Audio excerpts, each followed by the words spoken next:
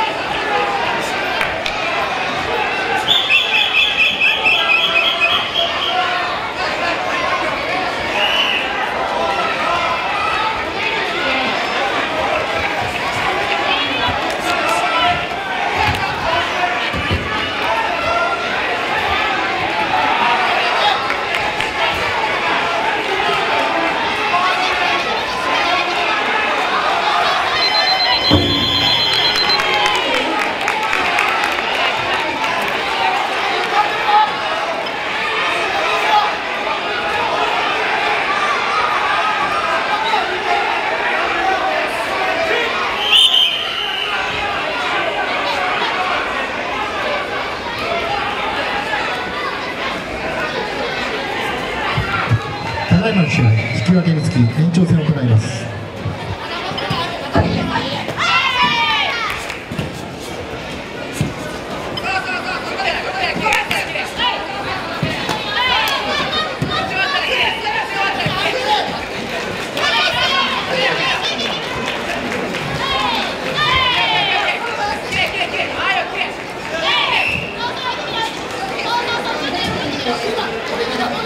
はい。Thank